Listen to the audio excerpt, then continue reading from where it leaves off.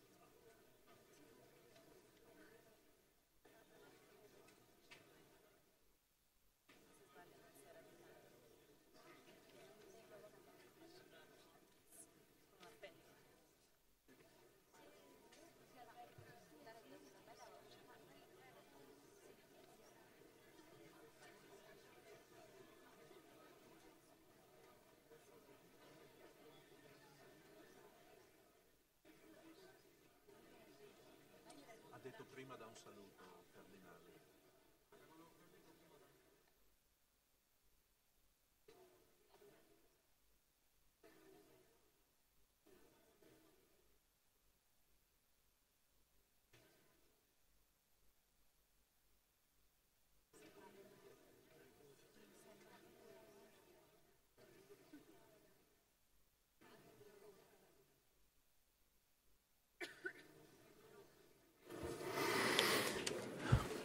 Buongiorno Mm, Bonjour tout le monde.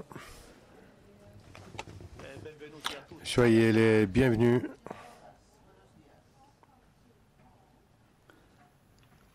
C'est euh, vraiment c'est une grande émotion, au moins, au moins pour moi, se trouver de nouveau, se trouver euh, en tant que frères et sœurs. En tant qu'Église. C'est très très beau.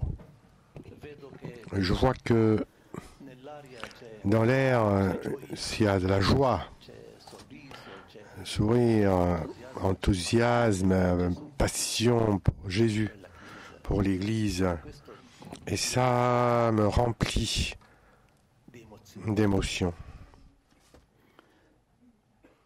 De tout mon cœur, je veux commencer en vous remerciant, me remerciant à vous tous pour le travail que vous avez achevé, pas seulement euh, cette année et pendant tout le parcours. dice En anglais, on dit hard work pays off. Le travail dur, ça paye. le pare d'Italia. coup d'éteindre la bougie, dit-il en italien, à la chandelle. oui. Donc, on commence. Dare Permettez-moi de a donner le bienvenu, le bienvenu à Mère euh, Ignatia et Père euh, Ra- Radcliffe. Vous êtes euh, courageux. Vous êtes courageux. Vous, de- avete anche accettato vous avez de nouveau accepté la leçon de l'année dernière. euh, Ça n'a pas marché. Merci de tout mon cœur. Merci. J'invite euh, mon frère cardinal Jean-Claude pour nous aider dans la prière.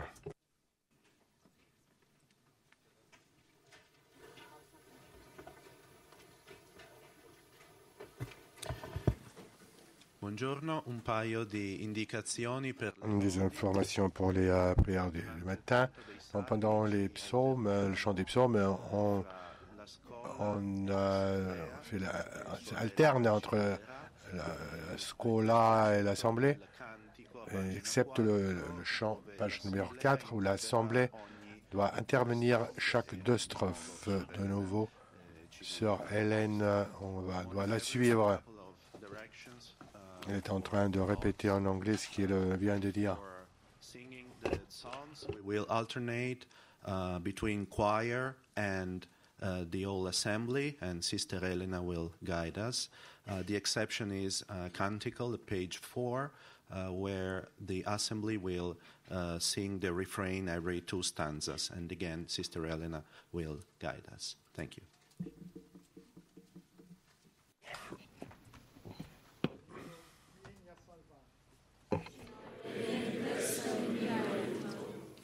Gloria al Padre e al Figlio e allo Spirito Santo. Maestro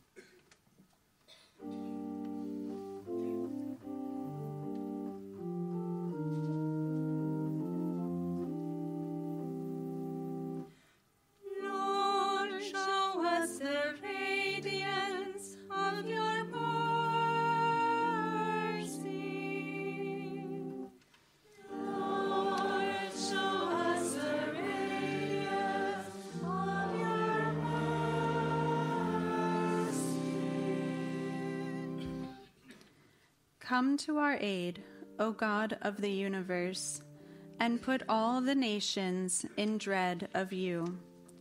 Raise your hand against the heathen, that they may realize your power. As you have used us to show them your holiness, so now use them to show us your glory. Thus they will know, as we know, that there is no God but you.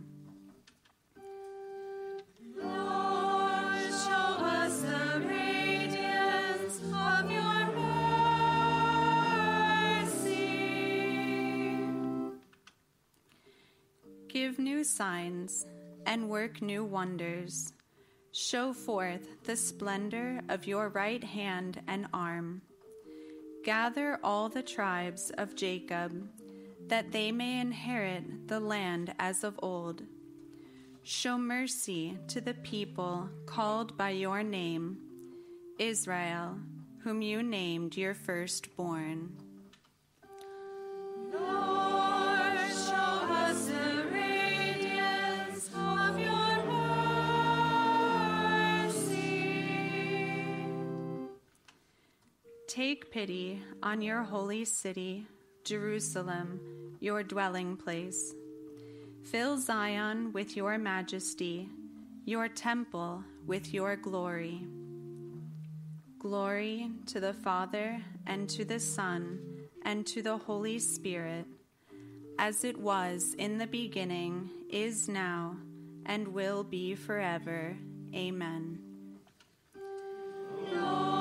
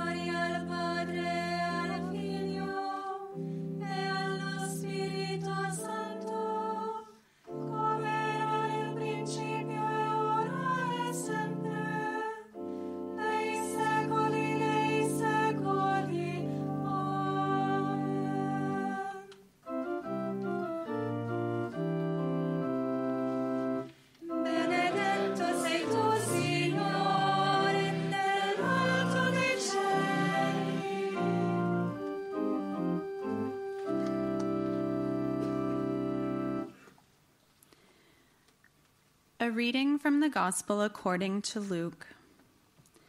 An argument arose among the disciples about which of them was the greatest. Jesus realized the intention of their hearts and took a child and placed it by his side and said to them, Whoever receives this child in my name receives me, and whoever receives me receives the one who sent me. For the one who is least among all of you is the one who is the greatest. Then John said in reply, Master, we saw someone casting out demons in your name, and we tried to prevent him because he does not follow in our company. Jesus said to him, Do not prevent him, for whoever is not against you is for you.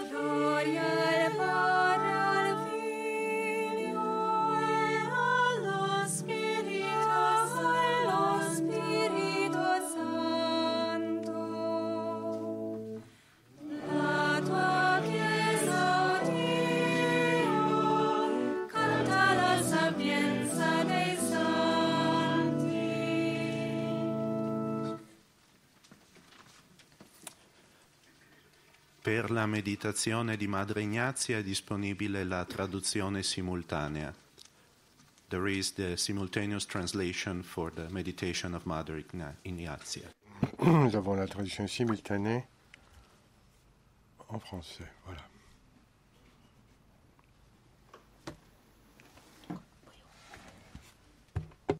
Un grazie profondo a Dio.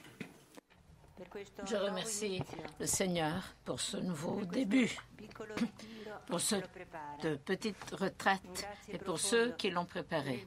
Un merci du fond de mon cœur pour l'évangile qui est à la base de cette prière de louange. Cela nous remet tous à notre place.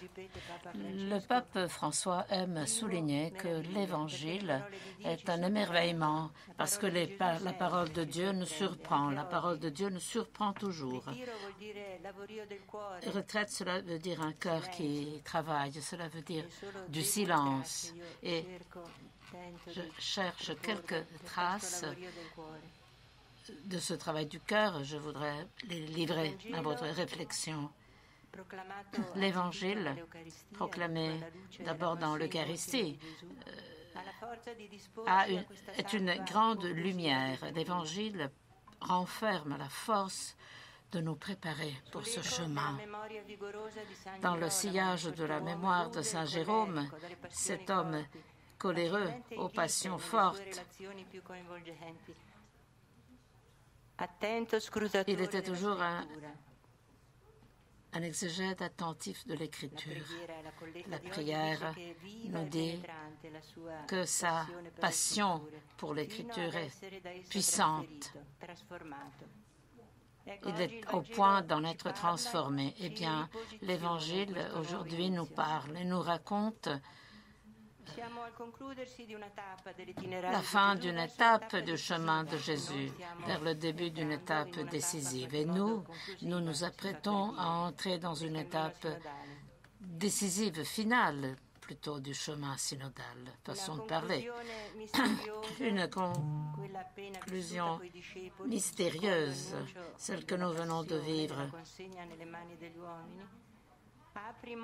Cela ouvre un horizon alors que l'étape précédente semblait s'achever sur une sorte d'échec. Alors que tous étaient l'admiraient, Jésus venait juste d'annoncer que le moment approchait où le Fils de l'homme serait livré aux mains des hommes. Et ici, précisément ici, Jésus découvre l'horizon, dévoilant avec rudesse le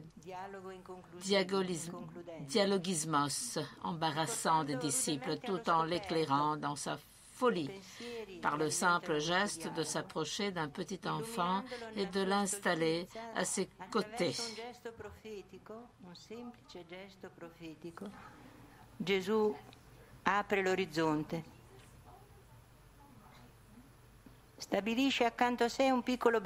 Il établit à ses côtés un petit enfant et c'est la refondation du collège apostolique, symbole vivant du disciple qui nous est également offert. Ici, aujourd'hui, le plus petit fait symbole vivant.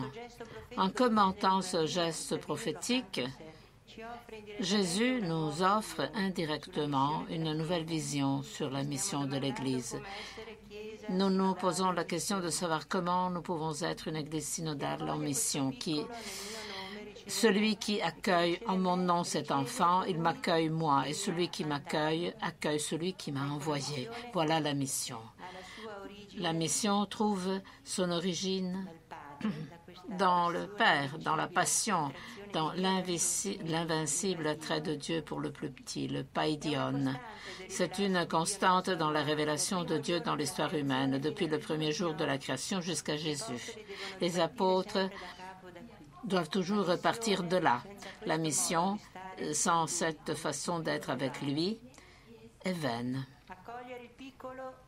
Mais eux, obtus, bien que corrigés par le Maître, continuent à réaffirmer leur vision intégriste qui érige des barrières,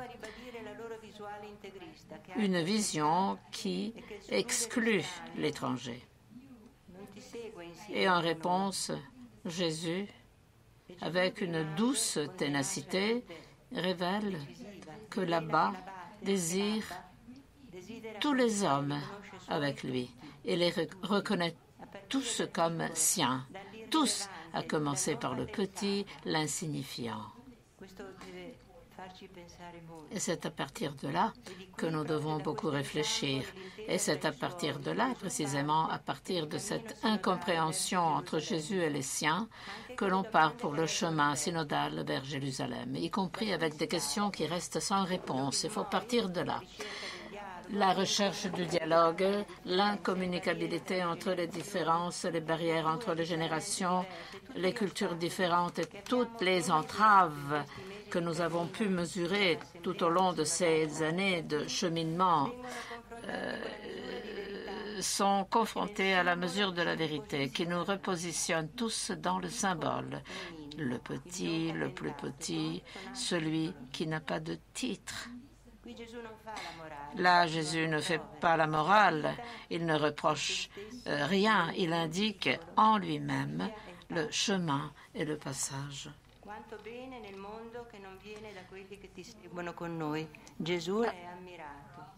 Alors, cet émerveillement de Jésus fait repartir le chemin synodal.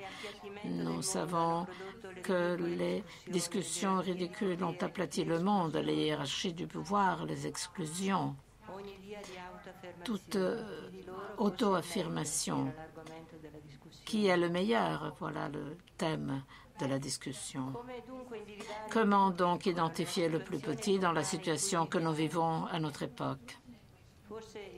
L'enfant sans défense qui s'abandonne avec confiance, le jeune égaré, euh, peut-être le prisonnier révolté, le migrant, la personne âgée délaissée, la femme que personne n'écoute.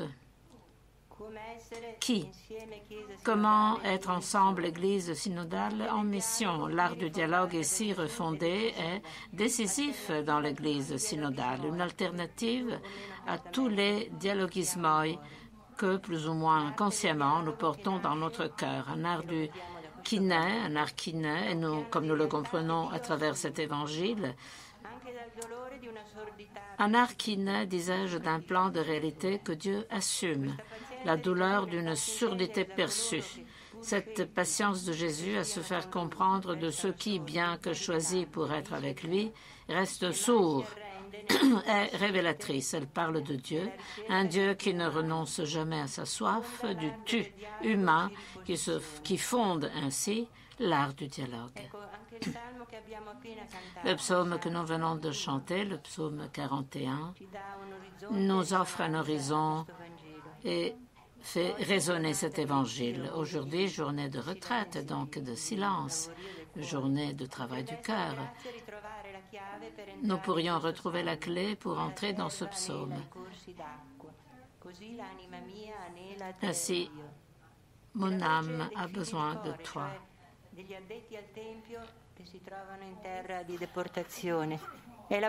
C'est la voix de l'Église, la voix des plus petits qui sont dans l'attente d'être évangélisés. C'est la voix de mon âme, toujours en quête. L'homme qui cherche cette soif qui est l'âme de la liberté, la soif dans la gueule humaine qui correspond à la soif de Dieu. Face à Dieu, qui est attiré par le petit, il y a une humanité assoiffée qui cherche du souffle, ce qui manque aujourd'hui. Les cultures auxquelles nous appartenons hésitent à s'exposer à cette soif, à l'intégrer dans leur système symbolique. Elles peinent tant elles sont entachées par des logiques d'entreprise, de pouvoir, de marché ou de bien-être, des logiques d'évasion des logiques qui poursuivent des rêves de liberté comme autodétermination. Mais le psaume que nous avons, nous venons de prier, nous redonne la soif de Dieu vivant. Lui, le vivant, a soif de cette soif, comme l'atteste le vieux moine qui disait Dieu a soif de qui a soif de lui. Et Thérèse de Calcutta nous l'a rappelé avec une humble force. S'exposer longuement à cette soif, à cette lumière, demeurer dans l'Évangile comme dans la chair du Christ, c'est là une retraite vivifiante. Comment accueillir près de soi, en soi, l'enfant? Comment faire place à la soif de l'âme, soif du Dieu vivant? À propos du psaume 41, Abba Poemen, moine du désert égyptien, disait Il est écrit Comme la biche soupire après les sources d'eau, ainsi mon âme soupire après toi, ô Dieu. Comme il arrive aux cerfs dans le désert qui dévorent de nombreux reptiles lorsque le poison les brûle, de désirer venir boire les eaux qui les soulagent de la brûlure des poissons ingérés. Ainsi, les moines qui vivent dans le désert sont consumés par l'amertume des passions et désirent donc voir arriver le samedi et le dimanche pour la synaxe afin de puiser aux sources des eaux, c'est-à-dire au corps et au sang du Seigneur qui purifie de l'amertume du malin.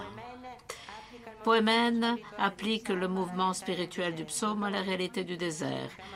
Pareillement, nous, si nous trouvons la clé de ce psaume, nous pouvons le prier en nous disposant à l'Assemblée synodale comme un lieu où l'Esprit nous désaltère dans le désir de conformer notre Église à la mission ardue que le Seigneur, dans ce désert d'aujourd'hui, lui confie, comme un petit enfant on respire dans le psaume une mémoire anxieuse et espérance inquiète.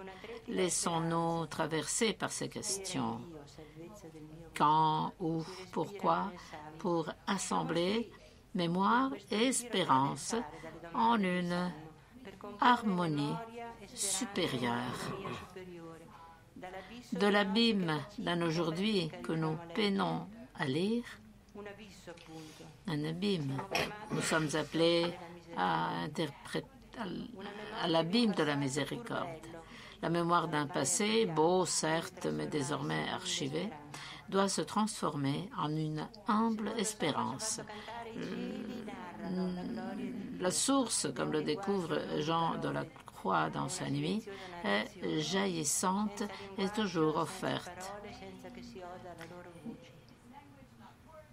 Ci sono narrazioni di stelle e Il y a des récits d'étoiles et nous parlent de Dieu.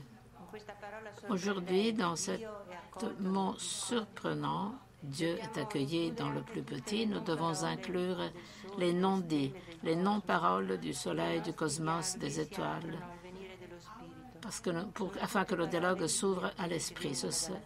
Ce, qui vient de la terre, c'est la parole de Dieu dans notre peine à dialoguer euh, avec ceux qui viennent du ciel. Tout nous parle de la gloire de Dieu.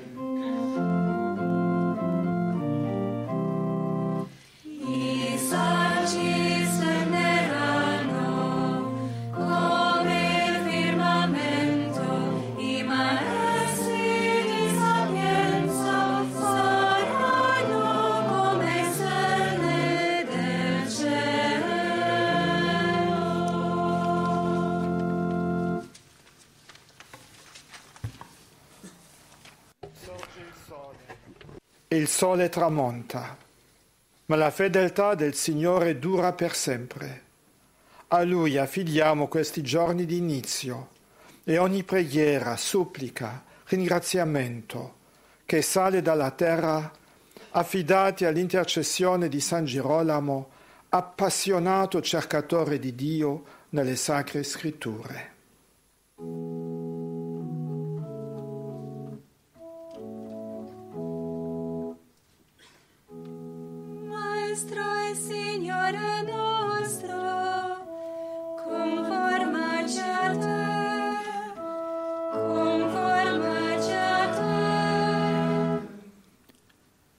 Splendore della gloria di Dio, tu riveli il mistero del Padre e la verità della creatura umana nel piccolo. Illumina questo giorno con la tua luce, mostraci il cammino, scava in noi lo spazio dell'ascolto. Ti invochiamo. Maestro e Signore nostro, conformaci a te.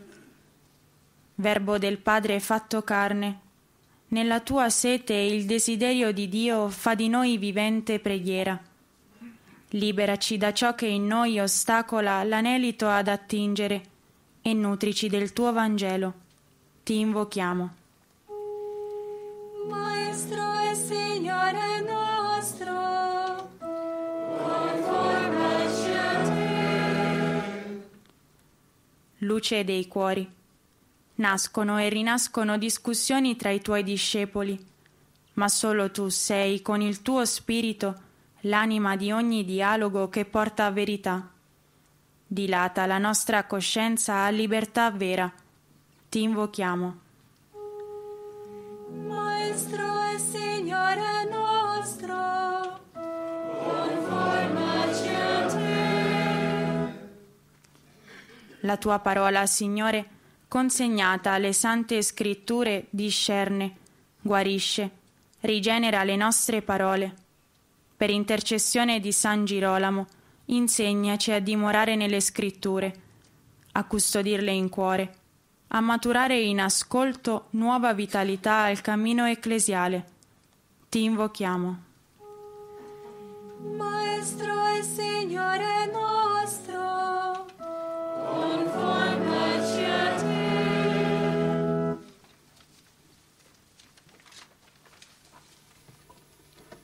Padre nostro, che sei nei cieli, sia santificato il tuo nome, venga il tuo regno, sia fatta la tua volontà, come in cielo così in terra. Dacci oggi il nostro pane quotidiano e rimetti a noi i nostri debiti, come anche noi li rimettiamo ai nostri debitori. E non abbandonarci alla tentazione, ma liberaci dal male. O God, who gave the priest Saint Jerome a living and tender love for sacred scripture, grant that your people may be ever more fruitfully nourished by your word and find in it the fount of life. Through our Lord Jesus Christ, your Son, who lives and reigns with you in the unity of the Holy Spirit, God forever and ever. Il Signore sia con voi. E con il tuo spirito. Vi benedico Dio Onnipotente, Padre, Figlio e Spirito Santo. Mes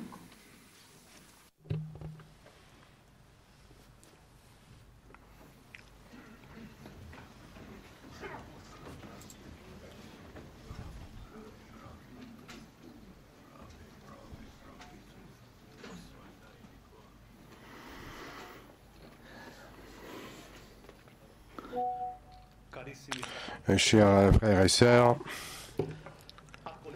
en, vous accueillant, je viens de vous dire avec le psalmiste euh, qu'il est beau, qu'il est agréable que les frères se trouvent ensemble.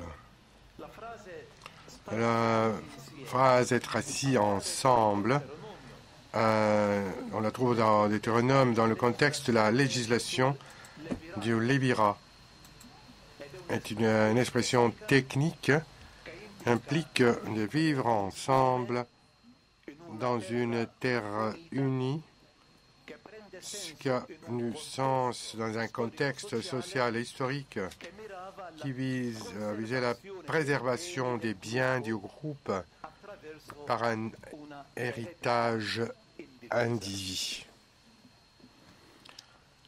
N'est-ce pas dans ce but que le Saint-Père nous a convoqués à cette assemblée synodale. Bien que euh, nous venions de diverses églises locales, toutes avec euh, leurs richesses, toutes avec euh, leurs défis, toutes engagées à se renouveler et à trouver de nouvelles voies, nouveaux langages pour parler de Jésus aux hommes, aux femmes d'aujourd'hui. Nous sommes assis ensemble, assis ensemble pour préserver les biens de l'Église à travers un héritage individu à partager avec tous. Personne n'est exclu. Nous nous préparons à nous lancer sur le chemin de la deuxième session de l'Assemblée synodale. Nous sommes comme Moïse sur le Sinaï, en présence du Seigneur. Mais à nous, aujourd'hui, le Seigneur nous le répète, enlève les sandales des pieds, car le lieu où tu es est une terre sainte. Oui. L'Assemblée synodale, frères et sœurs, est un Dieu saint de rencontre avec le Seigneur qui est présent là où deux ou trois sont réunis en son nom. Soit nous entrons dans cette euh, perspective de prière, de foi, de rencontre avec Dieu, soit nous n'assumons pas un style synodal authentique. Nous ne vivons pas une expérience de synodalité. En fait, le synode ne peut être qu'une prière, une liturgie, dont l'acteur principal, ce n'est pas nous, mais le Saint-Esprit. Le Saint-Père nous l'a rappelé dès le début du parcours synodal. Le synode est un moment ecclésial et le protagoniste du synode est le Saint-Esprit. S'il n'y a pas d'esprit, il n'y aura pas de synode. C'est le Saint-Père qui le dit. C'est pour euh, cette raison que nous commençons notre voyage, notre parcours avec euh, deux jours de retraite. Ces jours ne sont pas une préparation au synode, mais en font partie intégrante. En ces, ces jours d'écoute la parole de Dieu et de prière, nous, comme Moïse, qui a également été placé à la tête d'un peuple, nous enlevons nos sandales de nos pieds nous nous dépouillons de toute notre résistance à la voix de l'Esprit Saint afin de pouvoir traverser le désert, mais pas seul, mais ensemble avec le peuple de Dieu vers la terre de la promesse de Dieu. Sans cette rencontre de Moïse avec Dieu des Pères, il n'y aurait pas eu d'exode vers la liberté. Sans ce dépouillement de Moïse, il n'y aurait pas eu de chemin vers le salut. Hum, frères et sœurs, nous nous dépouillons de vêtements, d'approches, de schémas qui pouvaient euh, signifier hier, mais qui aujourd'hui sont devenus un fardeau pour la mission et mettent en danger la crédibilité de l'Église, de l'Évangile. C'est pourquoi ces jours de retraite sont ce qui fait ressortir le fondement de ce que nous vivons. La salle du synode est une terre sainte. Et nous devons donc enlever nos sandales pour nous euh, écouter. Nous devons être prêts à nous dépouiller, car l'écoute est un acte radical de dépouillement de soi devant l'autre et devant Dieu. Chers frères et sœurs, inspirés par l'appel dansé Hugo Raner, lorsqu'il nous a invités à réapprendre, et je cite à réapprendre, ce qui était si familier, si cher à l'Église primitive, voir l'Église en Marie. Et Marie dans l'Église. Je voudrais vous, proposer de confier à la Vierge Marie ce nouveau élément, élément du chemin synodal à la Vierge Marie. La Vierge Marie est le modèle de l'Église. La Mère de Dieu est une figure de l'Église, comme l'enseignait déjà saint Ambroise, c'est-à-dire dans l'ordre de la foi, de la charité, de l'union parfaite avec le Christ. Gentium. Le Concile nous exhorte à lever les yeux vers Marie. Élevons le, les yeux vers Marie, même pour apprendre à être une église de style synodal. Marie, en effet, est avant tout la femme de l'écoute, la femme de l'obéissance à la volonté de Dieu, comme l'a affirmé Saint Paul VI euh, dans Marialis Cultus, Marie est la Vierge qui écoute, qui accueille la parole de Dieu avec foi, et cela a été pour elle la prémisse, la voie de la maternité divine. En elle, l'écoute devient une célébration de la parole, un geste concret de charité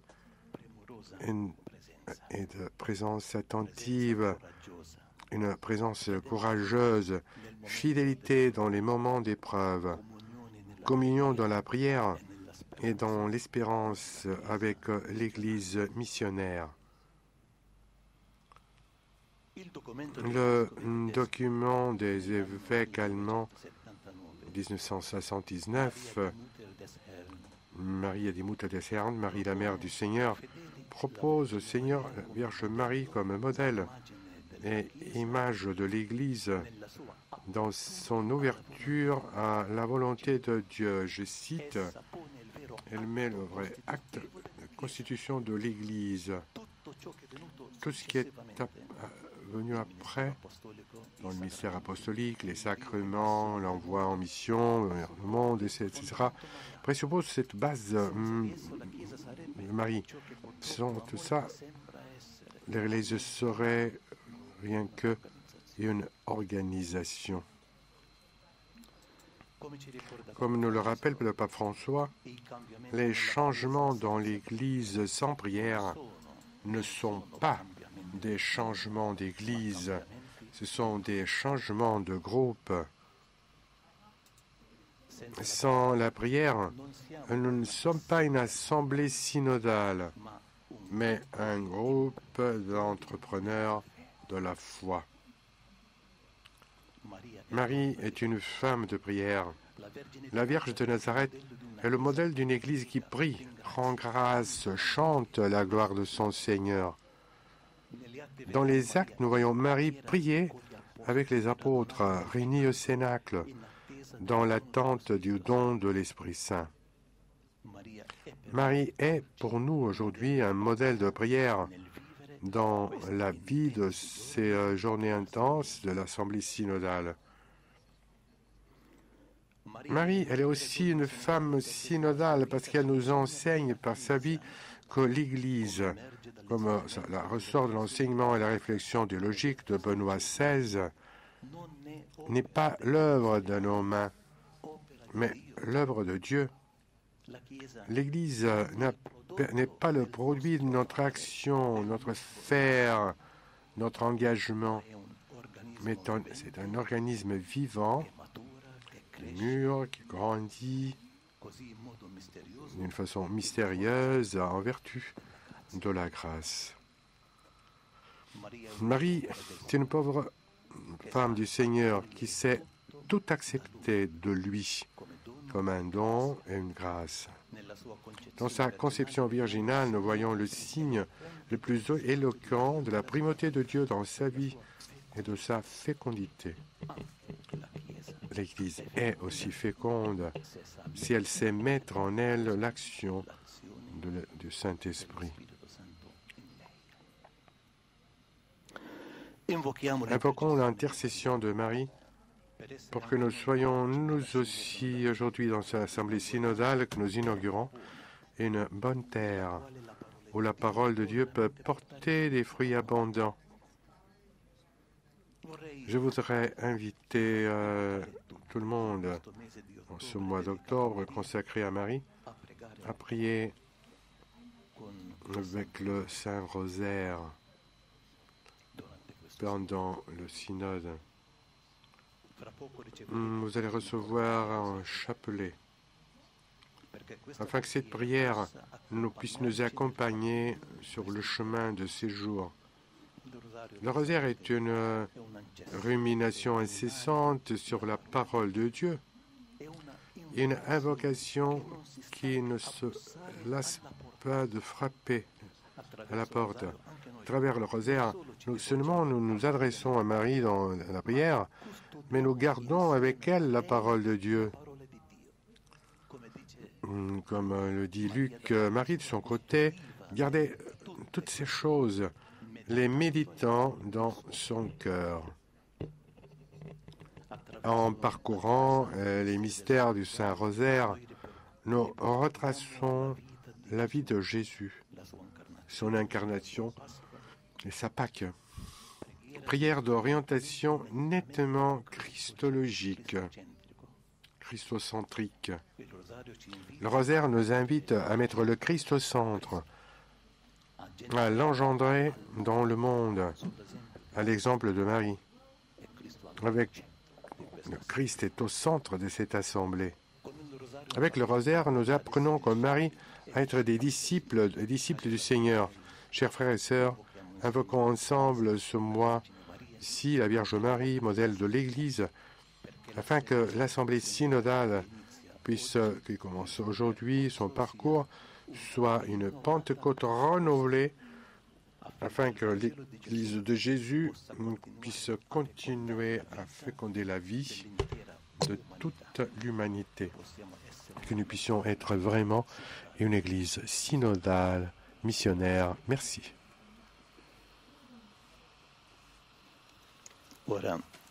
Alors maintenant, j'invite Père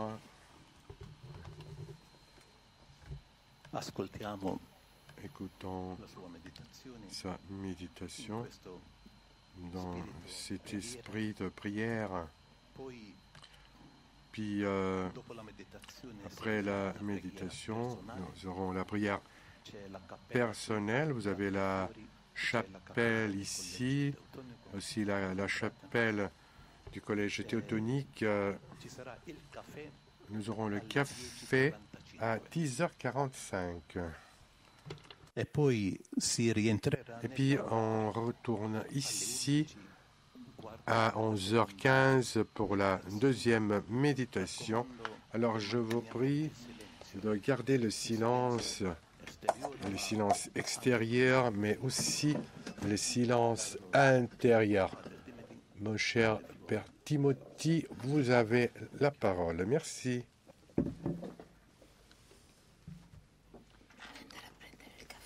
Good morning. Working. Bonjour. Hmm, Pendant la retraite de l'année dernière, nous avons réfléchi à la manière de nous écouter les uns aux autres, comment faire face à nos différences dans l'espoir, en ouvrant nos cœurs et nos esprits les uns aux autres. Certaines barrières sont tombées et j'espère que nous avons commencé à voir ceux avec qui nous sommes en désaccord, non pas comme des adversaires, mais comme des disciples et des chercheurs.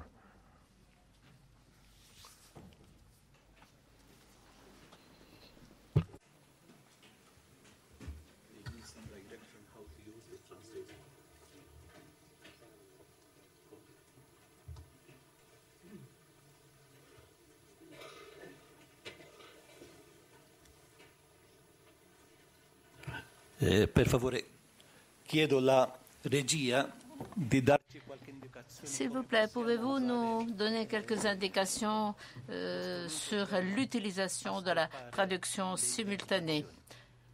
Nous avons besoin d'un coup de main parce que quelques-uns d'entre nous ont des difficultés à utiliser les dispositifs de traduction simultanée.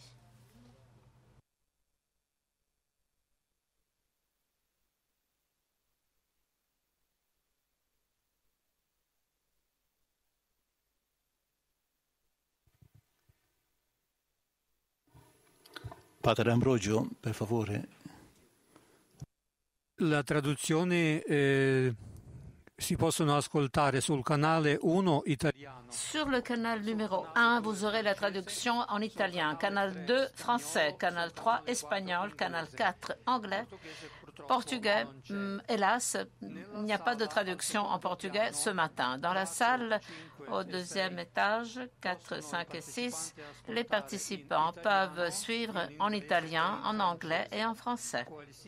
Euh, pour toute difficulté, euh, les techniciens euh, vont se déplacer dans la salle et vous pouvez leur demander de l'aide.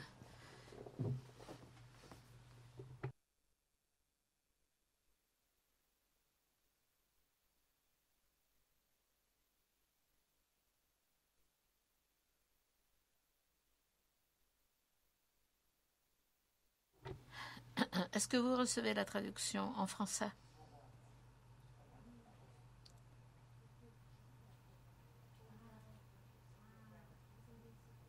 Est-ce que vous recevez la traduction en français?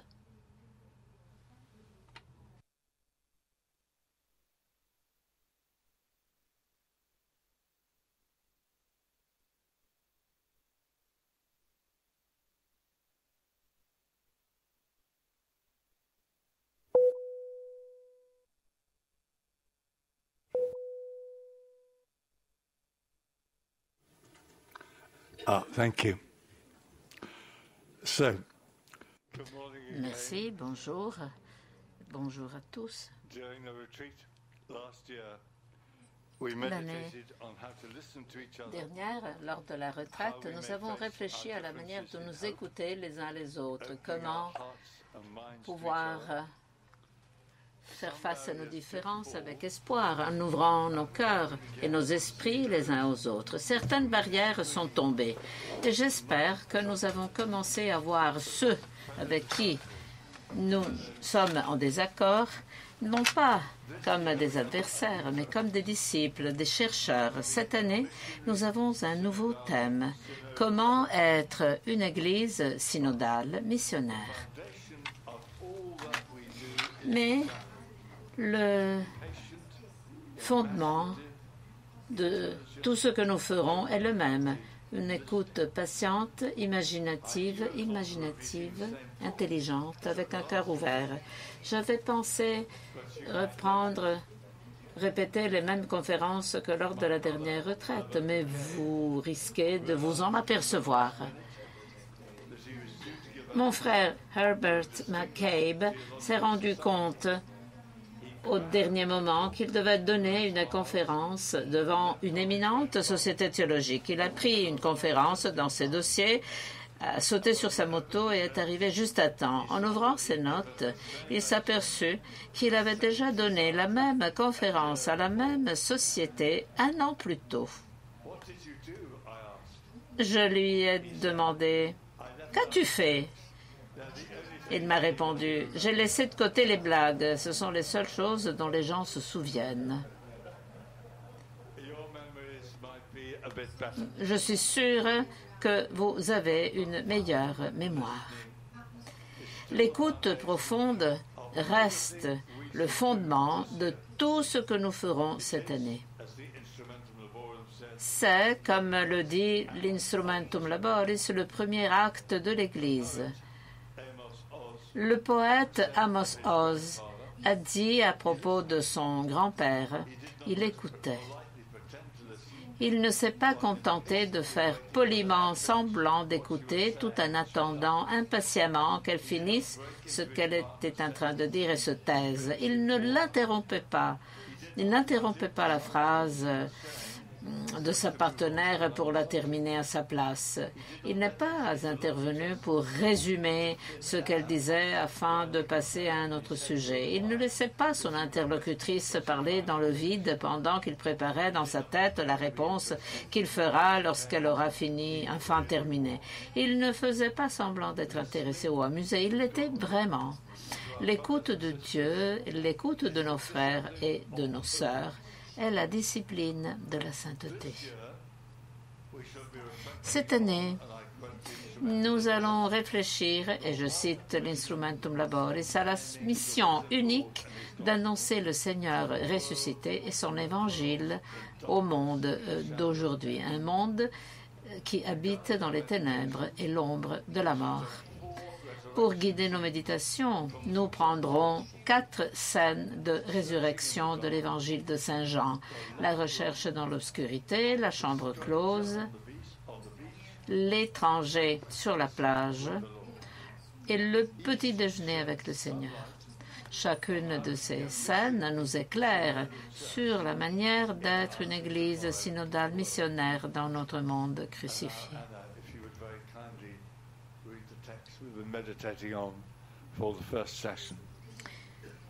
Est-ce que vous pouvez lire le texte, s'il vous plaît?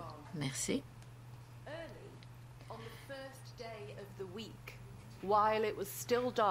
Ce matin, Mary Magdalene came to the tomb and saw that the stone had been removed. nous avons vu les disciples courir dans l'obscurité. Ce matin, nous avons vu que la mission de l'Église synodale nous appelle à être comme Marie-Madeleine, la disciple bien-aimée, et Pierre, ceux qui cherchent le Seigneur ressuscité. Pierre et les autres disciples se rendirent au sépulcre. Les autres disciples arrivèrent au sépulcre. Avant, ils regardèrent à l'intérieur du sépulcre et ils ne sont pas entrés. Le Christ n'était pas là. Simon-Pierre arriva, les suivit dans le sépulcre. Il vit le suaire qui était placé sur le corps de Jésus, qui était mis de côté. Et puis les autres disciples qui, qui, avaient- qui s'étaient rendus au sépulcre les premiers virent et crurent, parce que le Christ était ressuscité. Les disciples firent retour chez eux, mais Marie resta. Elle pleurait devant le sépulcre. Elle regarda dans le sépulcre. Elle vit deux anges qui étaient assis là où le corps de son fils avait été déposé. Les anges lui dirent, Femme, pourquoi est-ce que tu pleures? Elle répondit. Je ne sais pas où est mon fils, je ne sais pas où ils l'ont amené. Et en disant cela, elle se tourna. Elle vit son fils, son fils qui était là.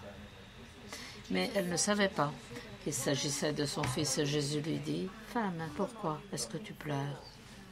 Pour qui pleures-tu?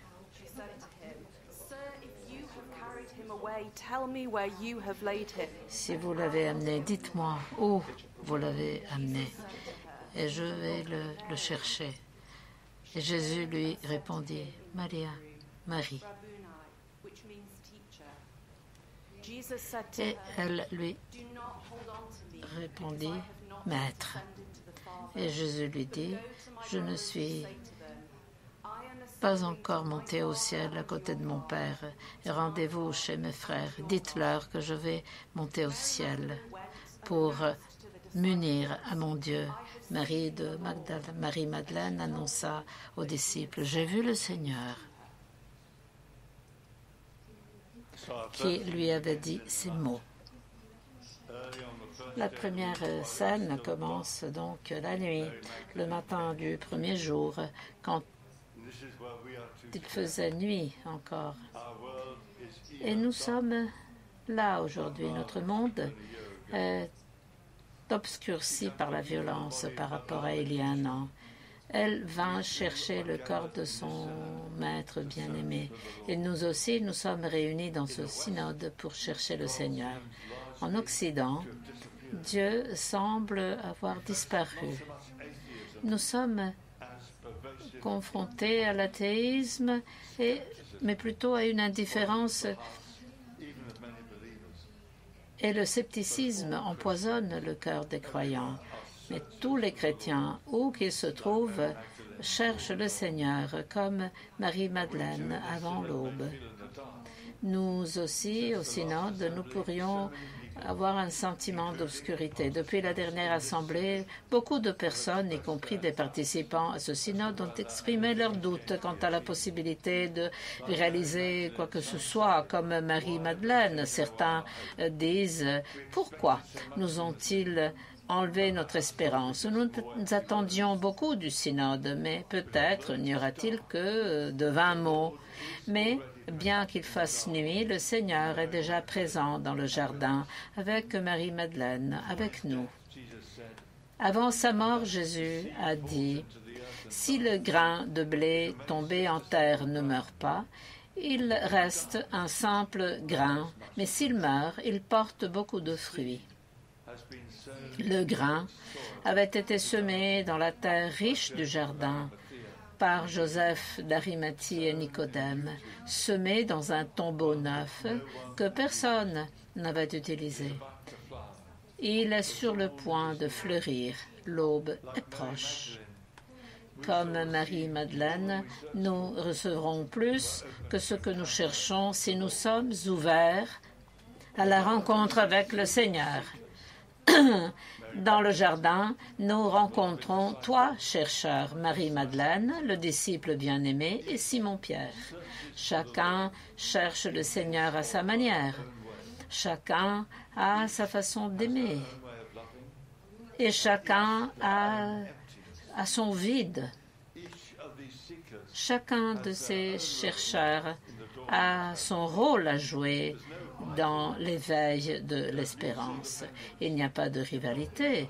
Leur dépendance mutuelle incarne le cœur de la synodalité.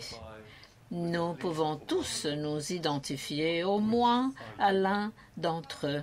Lequel êtes-vous? Thomas Halleck a affirmé que l'avenir de l'Église dépend de sa capacité à tendre la main aux chercheurs de notre société. Il s'agit souvent de des, des riens, nan en anglais. Et je ne parle pas des religieuses contemplatives, mais les personnes qui ne disent qui se disent sans appartenance religieuse.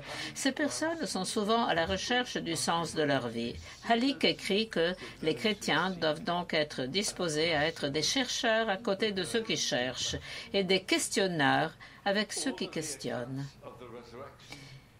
Tous les récits de la résurrection sont remplis de questions. À deux reprises, on demande à Marie-Madeleine pourquoi elle pleure. Elle demande où ils ont mis le corps. Tous demandent pourquoi le tombeau est vide. Dans le récit de Marc, les femmes demandent Qui roulera la pierre pour nous? Les récits de Luc sur la résurrection sont remplis de questions. Pourquoi cherchez-vous le vivant parmi les morts. Jésus demande aux disciples qui fuient vers Emmaüs, De quoi parlez-vous? Puis euh, à tous les disciples, pourquoi avez-vous peur? Pourquoi des doutes s'élèvent passe-t-il dans vos cœurs? La résurrection fait irruption dans nos vies, non pas sous la forme d'une simple déclaration de fait, mais sous la forme de questions de recherche. Les questions profondes ne sont pas en quête d'information. Elles nous invitent à vivre d'une manière nouvelle et à parler un langage nouveau. Le poète Rainer Maria Rilke a écrit Ne cherchez pas des réponses qui ne peuvent vous être apportées, parce que vous ne saurez pas les vivre. Et il s'agit précisément de tout vivre. Ne vivez pour l'instant que vos questions. Peut-être, simplement, finirez-vous par être insensiblement, pour entrer insensiblement un jour dans les réponses. La résurrection n'est pas la vie de Jésus qui reprend après une brève irruption, interruption, mais une nouvelle façon d'être en vie. Une nouvelle façon dans laquelle la mort a été vaincue. Et ainsi, à travers les évangiles, la résurrection fait irruption dans nos vies, d'abord sous forme de questions urgentes qui ne nous permettent pas de continuer à vivre de la même manière. De même, nous arrivons à ce synode avec beaucoup de questions, par exemple sur le rôle des femmes dans l'Église.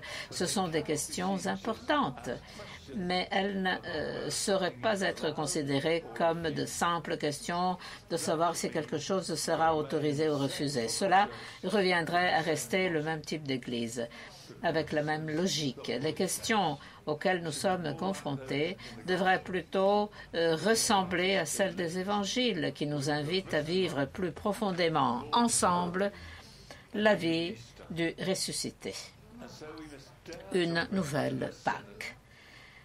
Nous devons donc oser apporter à ce synode les questions les plus profondes de nos cœurs, euh, des questions déroutantes qui nous invitent à une vie nouvelle, comme ces trois chercheurs dans le jardin. Nous devons répondre aux questions des uns et des autres si nous voulons trouver une nouvelle façon, une façon renouvelée d'être Église. Si nous n'avons pas de questions ou que nous n'avons que des questions superficielles, notre foi est morte. Un archevêque qui n'est pas présent parmi nous aujourd'hui a dit un jour à un groupe de novices dominicains, et je le cite, Veillez à ce que vous lisiez tous la somme de la quinate. 56 000 à tous ceux qui critiquent l'Église catholique. Légende veut qu'enfant, sa première question, euh, la première question de la quinate a été Qu'est-ce que Dieu? Et que sa sainteté a consisté à refuser toute réponse, car, disait-il, nous sommes unis à Dieu comme à l'inconnu. Si nous écoutons les questions des uns et des autres avec respect et sans crainte, nous trouverons une nouvelle façon de vivre dans l'esprit. Comme je l'ai dit l'année dernière, la devise de l'Académie dominicaine de Bagdad est Ici, aucune question n'est interdite. Nous sommes Marie-Madeleine, le disciple bien-aimé, et Simon-Pierre. Et ce n'est qu'ensemble que nous trouverons le Seigneur qui nous attend dans l'obscurité. Regardons de plus près chacun de ces chercheurs et voyons ce qu'ils peuvent nous apprendre sur la manière de tendre la main aux chercheurs de notre temps. Marie-Madeleine est attirée par un tendre amour.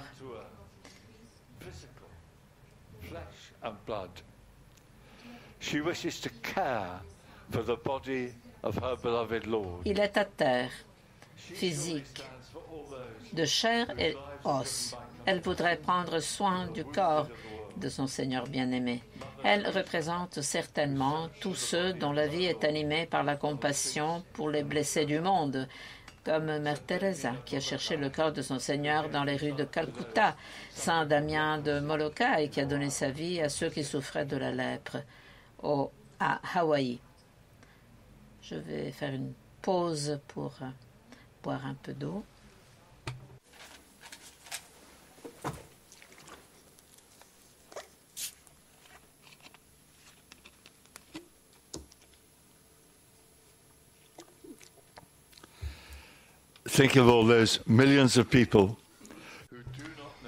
Pensez aussi à ces millions de personnes qui ne connaissent pas le Christ et qui sont remplies de compassion pour ceux qui souffrent. Comme Marie et Madeleine, ils cherchent les corps des blessés.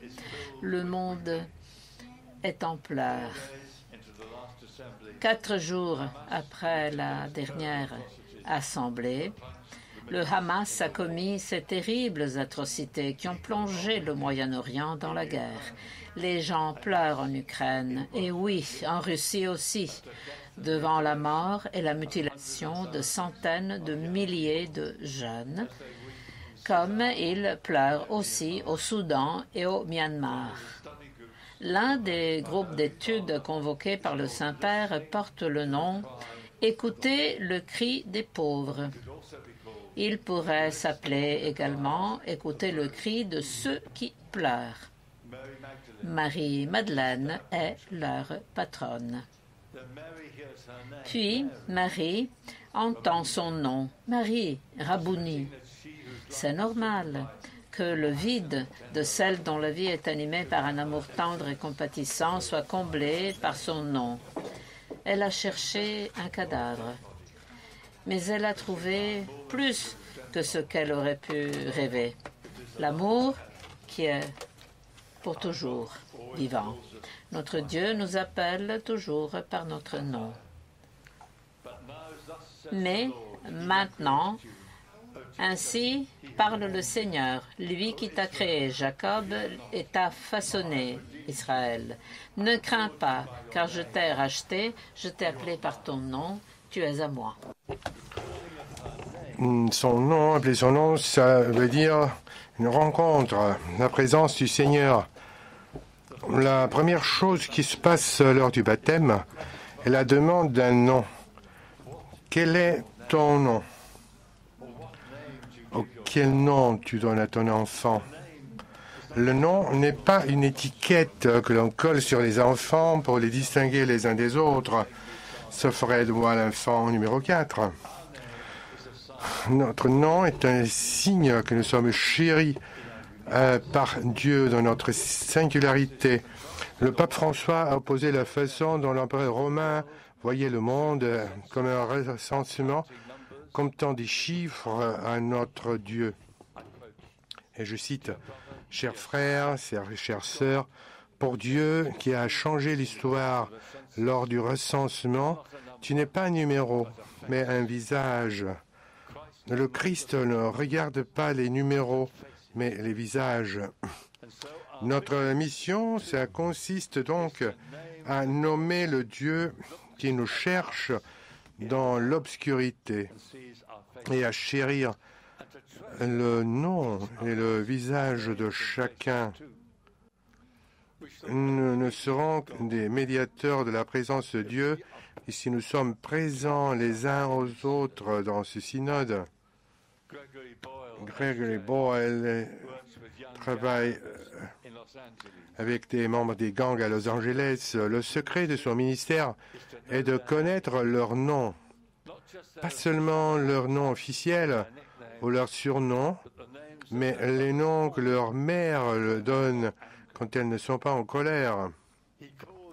Lorsqu'il appelle le jeune Lula par son nom, je cite, on aurait pu croire tout son corps. Son corps est parcouru par des spasmes de joie d'être connu, d'être appelé, d'être euh, en train de se prononcer euh, à, haute voix. Pendant son trajet sur le passage de le piéton, Lola n'a cessé de se retourner, de me regarder en souriant. Les régimes tyranniques effacent les noms des visages et les visages. À Auschwitz, Saint Maximilien Kolbe est devenu prisonnier 16 617. La présence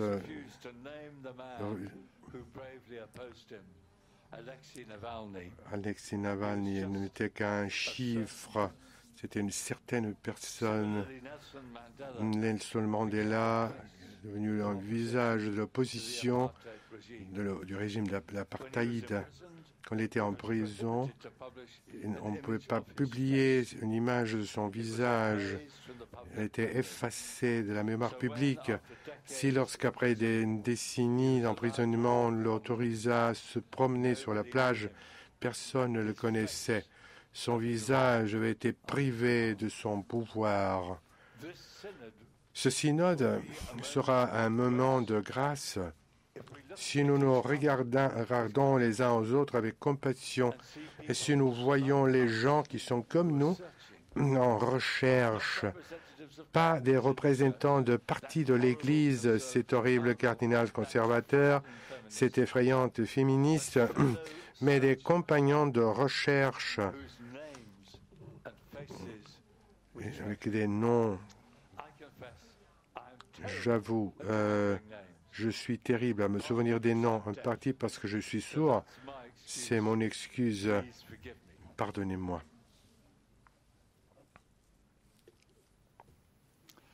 Mais le tendre amour de Marie-Madeleine a besoin d'être guéri, purifié. Jésus lui dit, ne me retiens pas. Les exégètes ont avancé des hypothèses, absurdes pour l'expliquer. La plus invraisemblable, tant que les plaies de Jésus étaient encore douloureuses. Il lui dit qu'elle ne peut pas prendre possession de lui à titre privé. Sa présence auprès d'elle, c'est l'amour, ce n'est pas à elle, n'appartient pas. La résurrection est la naissance de sa communauté. Laboris, le peuple de Dieu n'est jamais la somme des baptisés, mais le nous de l'Église. Va vers mes frères et dis-leur, je monte vers mon Père et votre Père, vers mon Dieu et votre Dieu. C'est la première fois dans l'évangile de Jean qu'il appelle des disciples frères, fratelli tutti. Elle doit libérer son amour de toute exclusivité. Après, elle sera prête à prêcher l'Évangile à tous les disciples. J'ai vu le Seigneur. C'est aussi notre défi. Ne pas m'attacher à mon Jésus anglais ou à mon Jésus dominicain, mais au Seigneur. Nous sommes tous frères et sœurs, même les jésuites. Ce synode sera fructueux si nous apprenons à dire nous, mon Père est votre Père, mon Dieu est votre Dieu. Ensuite, il y a le disciple que le Seigneur aimait. Lui aussi, lui aussi a sa manière d'aimer et son vide, l'extinction de la lumière de sa vie. Il laisse le vieux Pierre, soufflant et haletant, entrer le premier dans le sombre tombeau. Mais c'est lui qui voit l'espace vide entre les anges et croit. C'est l'amour qui permet de voir. Obi amor, ibi oculus. Là où il y a l'amour, il y a la vision. Il, hum, voit avec les yeux de l'amour, il voit la, victoire de l'amour. Son évangile est celui de l'aigle, dont les yeux étaient censés regarder directement la lumière du soleil sans être aveuglés. Sa recherche est éminemment théologique. Cette année, j'ai passé deux semaines à, à l'école biblique à Jérusalem. Les frères vivent dans l'ombre de la mort, à 40 minutes de Gaza. Ils y restent étudiant la parole de Dieu, enseignant et priant. Ils restent comme un signe que la lumière a brillé dans les ténèbres et les ténèbres ne l'ont pas vaincu. Le vide de Marie-Madeleine est guéri par l'appel d'un nom là une présence, celui du disciple bien-aimé par la lumière qui brille dans un tombeau vide. Il incarne aussi tous ceux qui cherchent à comprendre le sens de nos vies. Le vide en forme de Dieu dans nos cœurs, comme le disait Blaise Pascal. Les penseurs chrétiens, bien sûr, mais aussi tous ceux qui luttent pour trouver la lumière dans l'obscurité de nos souffrances. Les poètes, les artistes et les cinéastes qui refusent de croire que les ténèbres remportent la victoire. Pour notre prédication de la résurrection, nous avons besoin d'eux aussi, ouverts à leur sagesse, comme saint Thomas d'Aquin l'était au païen Aristote. Une, vérité, peu importe par qui elle est dite, vient de le Saint-Esprit.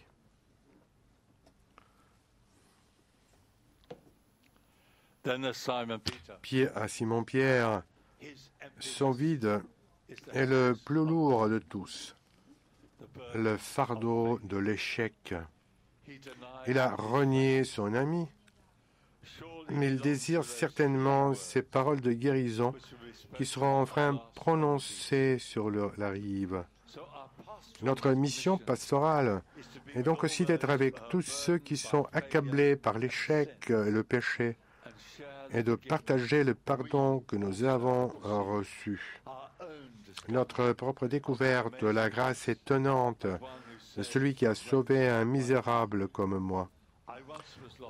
J'étais perdu, mais maintenant je suis retrouvé. J'étais aveugle, mais maintenant je vois. Notre mission est de nommer les miséricordieux.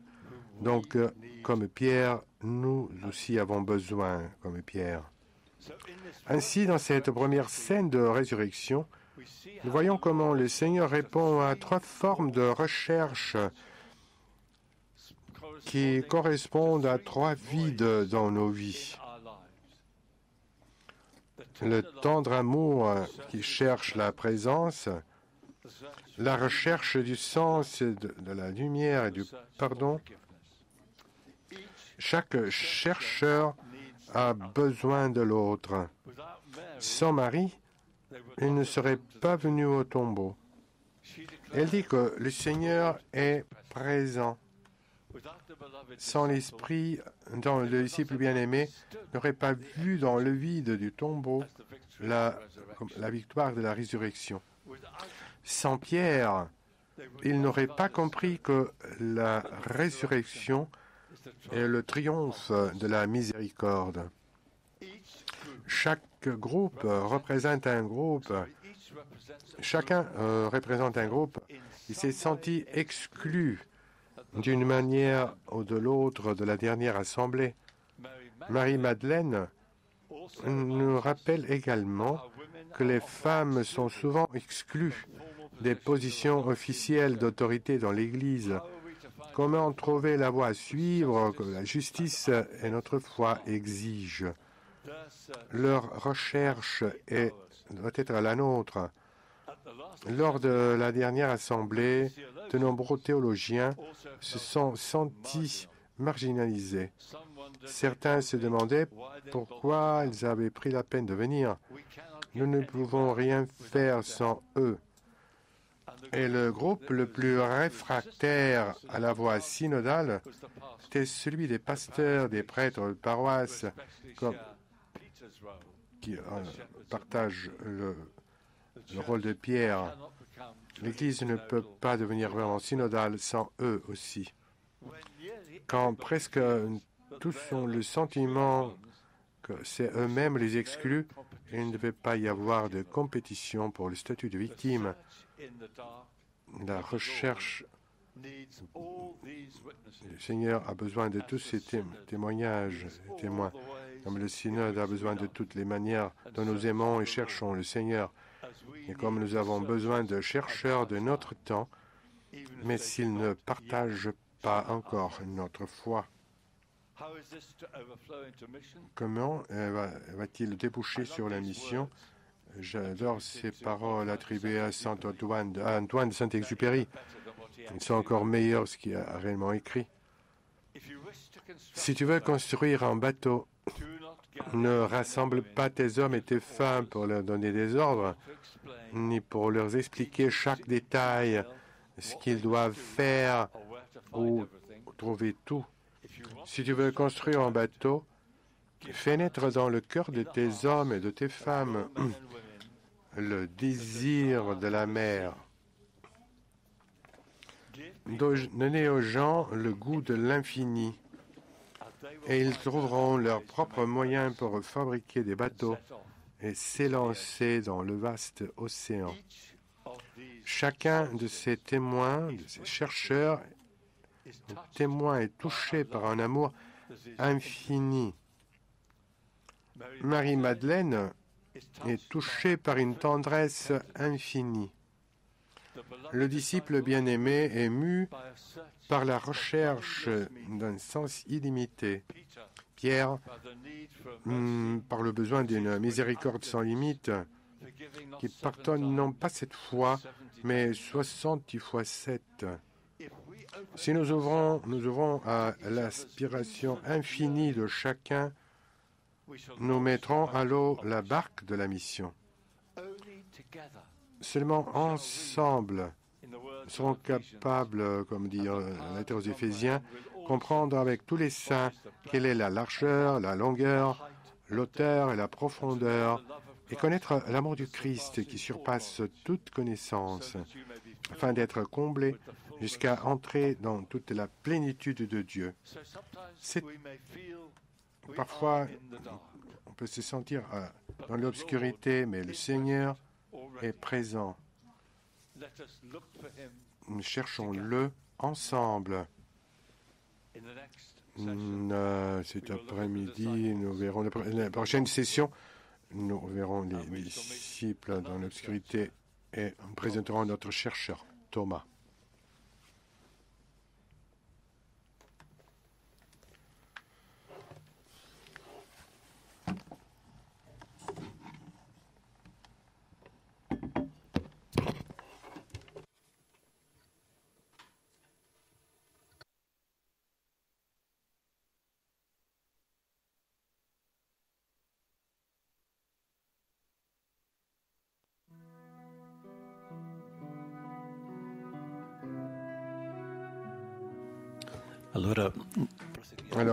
Continue avec la prière personnelle. À 10h moins le quart. Un café, 11h15. On se retrouve ici, dans cette salle. Merci.